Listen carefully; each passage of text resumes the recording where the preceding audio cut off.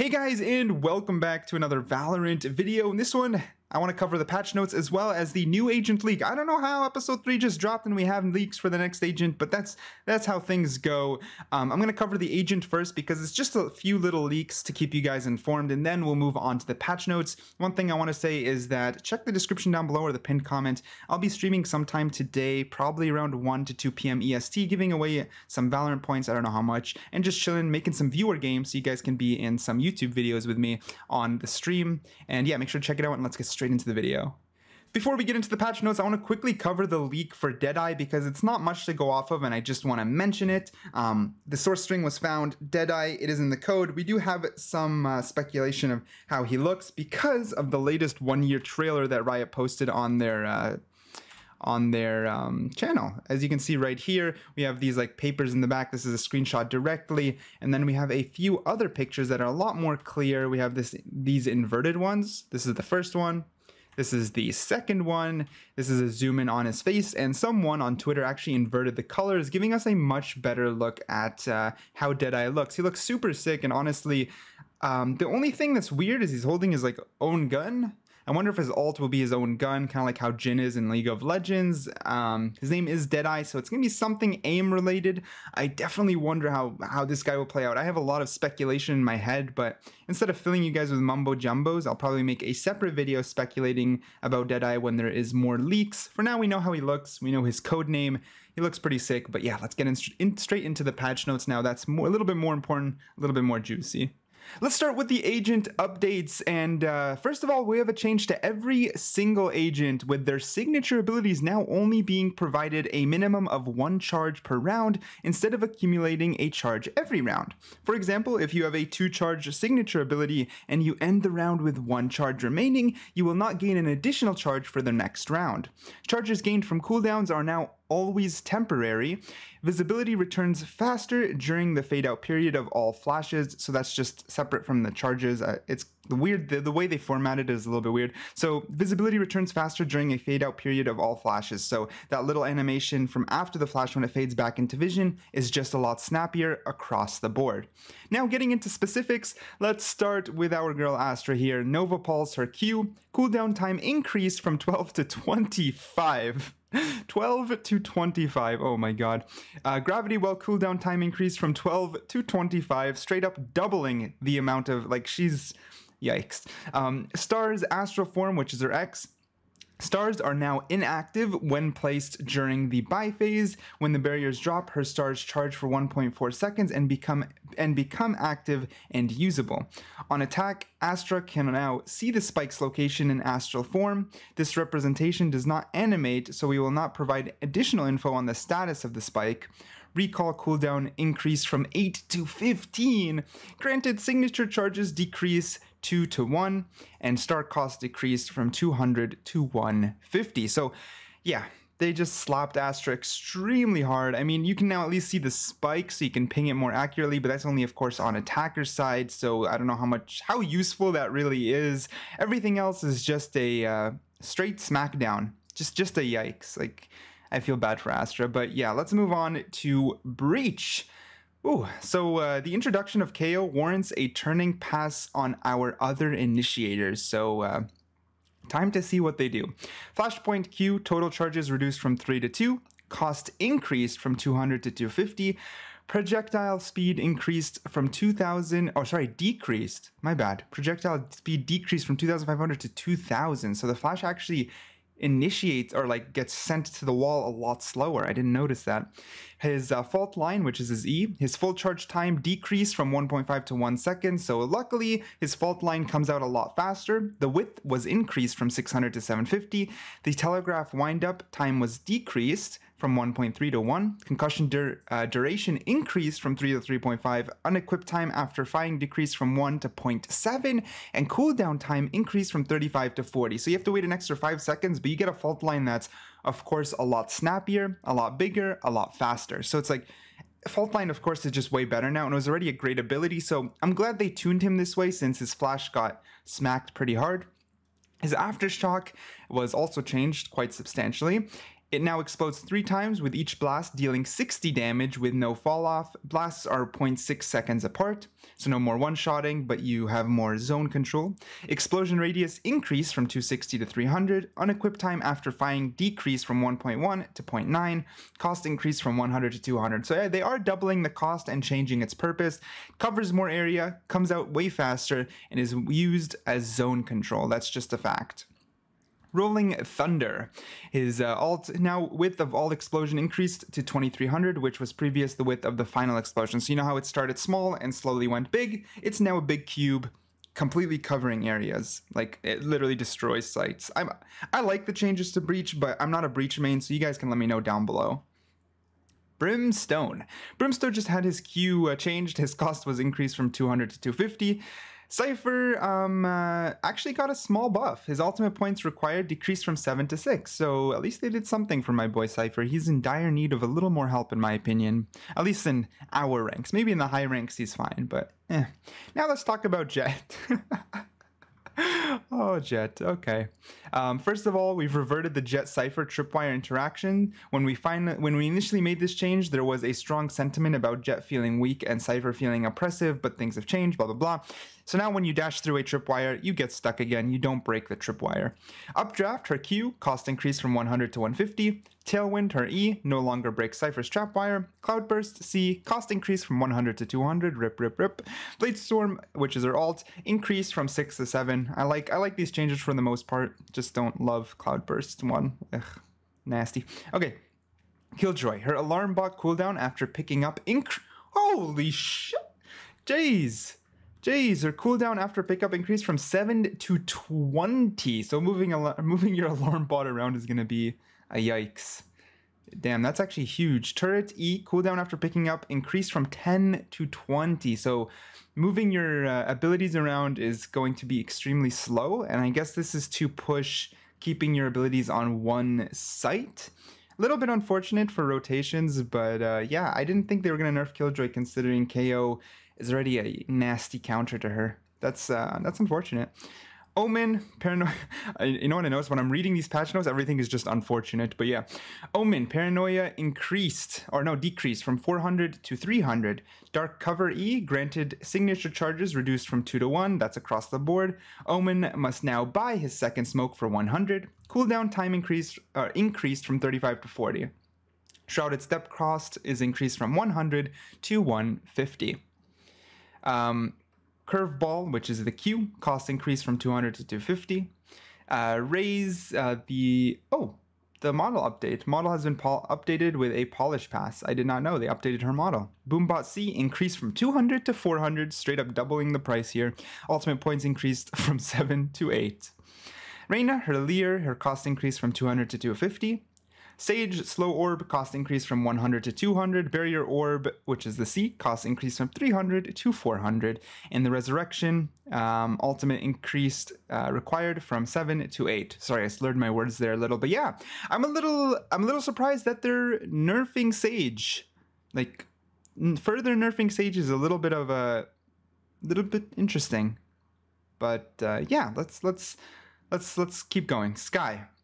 Skye will lose her third flash charge, but she'll now regain charges on a cooldown for her signature. So um, basically, what's interesting about this is Trailblazer Q vision radius increased from 1750 to 225, sorry, 2250, so you can see much further. The max concussion duration increased from 3 to 4, and cost has been increased from 200 to 250. So for 50 extra credits, you're honestly getting a lot more for your buck. I think this is a great change to Skye. Her guiding light, the charges were redu- reduced from 3 to 2. Charges are now replenished on a 40 second cooldown. Skye no longer needs to re equip to trigger her flash, and guiding light's projectile now goes around corners tighter when free flying and is more responsive to guiding. The audio when casted is reduced from 3250 to 1250 and the cost of charges increased from 100 to 250. So huge price increase, but uh, pretty uh, pretty interesting. Skye's gonna play a little bit tighter though, so we'll see we'll see how things go there. Sova. Sova's shock dart has increased from 100 to 150. His recon bolt uh, cooldown was increased from 35 to 40. His owl drone is increased from 300 to 400, and his hunter's fury required increased from 7 to 8. Now, Viper's next. Snake Bite, her C. Duration reduced from 8 to 6.5 outer edges of Viper's acid patch form faster to ensure it is lethal if any enemy sits in the entire duration. Cost increased 100 to 200, and we've seen a massive resurgence in Viper's popularity and power, especially at stalling opponents and preventing defuses. We hope to slightly reduce some of this stalling power. This makes a lot of sense. Next, we have Yoru. So Yoru is pretty interesting. We were told he's going to get a buff, and then they made his flash cost more, which is, you know, we kind of saw that. But then he made they made his great gate crash cooldown increased from 35 to 40. Kind of interesting. Kind of interesting. It's only five seconds, so it's probably okay, but I think Yoru buffs are still coming in the future. But yeah, time to move on to the weapon updates. We're 10 minutes deep and we're not even done. Oh my god, this patch. Okay. Weapon updates. Since the launch, run and gun has been a hot topic. While we believe that there are certain situations that moving and shooting should be powerful, it is currently more potent than we'd like. This patch targets a piece of the puzzle that hasn't been touched before, which is what we call tag into accuracy, which is something I mentioned to you guys before. Of course, you guys can read the patch notes more specifically, but we've talked about this. They're nerfing it, and this is exactly what they're nerfing all weapons across the board. Bullet tagging changed from 75% slow to 72.5% slow. Tagging is the slowing effect you feel when hit by bullets, so you get slowed a little bit less, but it's not that substantial. Weapon dead zones changed from 30% to, 20, to 27.5%. Dead zone in Valorant refers to the movement speed a player becomes inaccurate. This, I'm, I'm surprised. I thought it'd be a little more aggressive than 27.5 but still we have to play it to understand how that how that feels because something small could feel bigger than it seems on paper.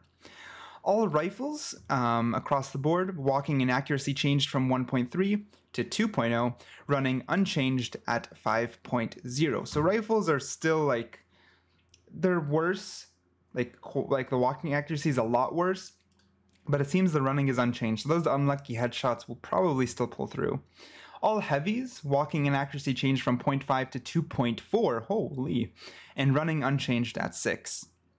All SMGs, walking in accuracy changed from 0.3 to 1.0. That's pretty huge for SMGs, but I'm really happy because I don't like the running and gunning SMGs. Running in accuracy was also changed from 2.0 to 2.5. Damn.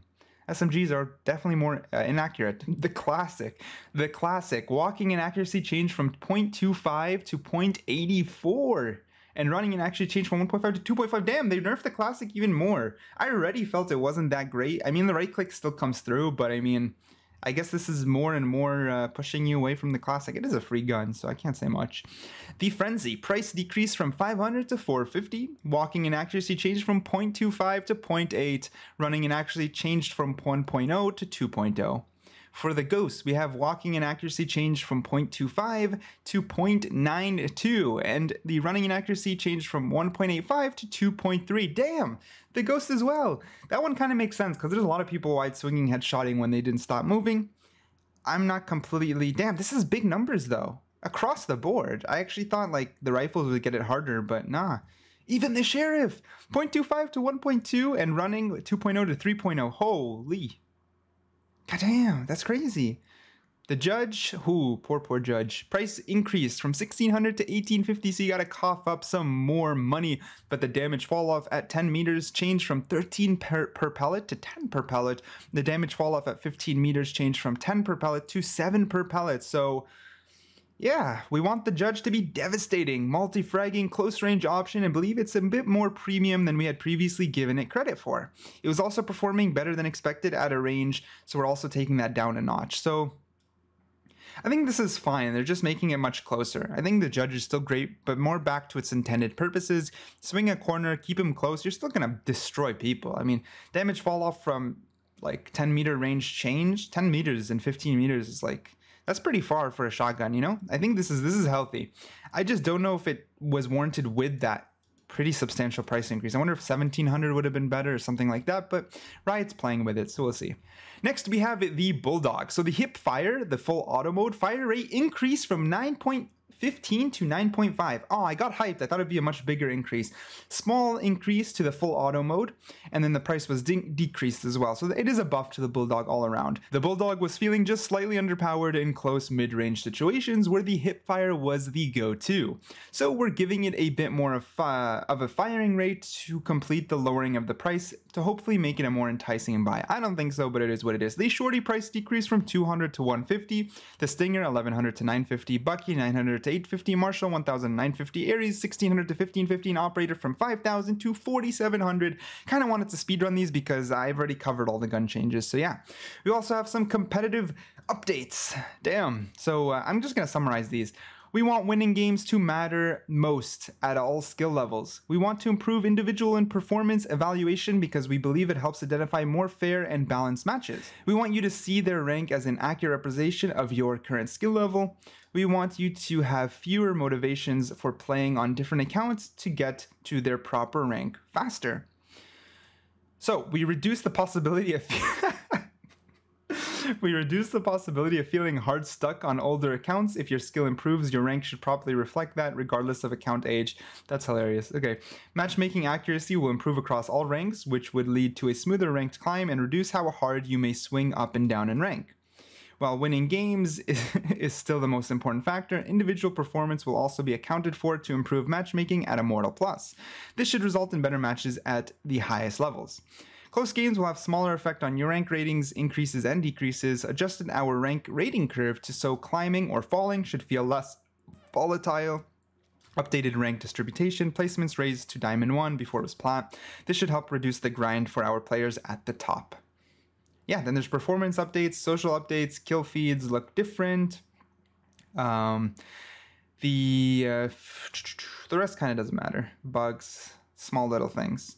Yeah, the rest doesn't matter. But yeah, that was a huge patch. I mean, reading start to finish took me 15 minutes, which is way longer than any patch really does. And I skipped all the little mumbo jumbo at the top of each person. So yeah, that is huge, huge, huge, huge patch. Um, and also the, of course, the agent leaks. A lot of things came through.